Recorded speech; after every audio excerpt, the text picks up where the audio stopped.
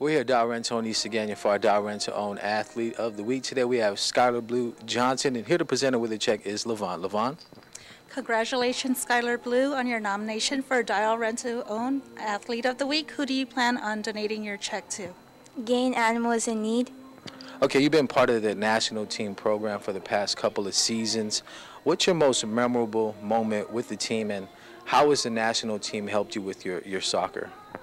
My most memorable moment was when I scored against the Philippines team. I was really happy, but it was also a team effort.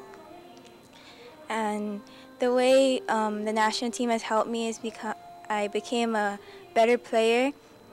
And I'd like to thank the coaches for helping me improve my skills a lot throughout the years.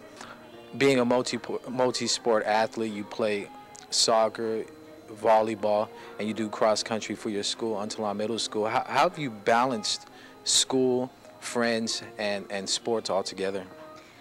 Well, every day I wake up early, get ready for school, but my school is mostly my number one priority, and then my uh, friends and sports will always come next. I always manage my time, my schoolwork wisely with my daily practices.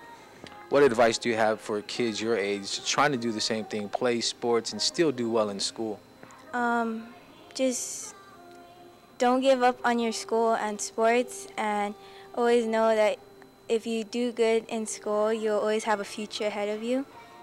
You're selected in the National uh, Soccer Team Academy. Uh, what's next for you with that, and how often do you train, and what's next with the national team?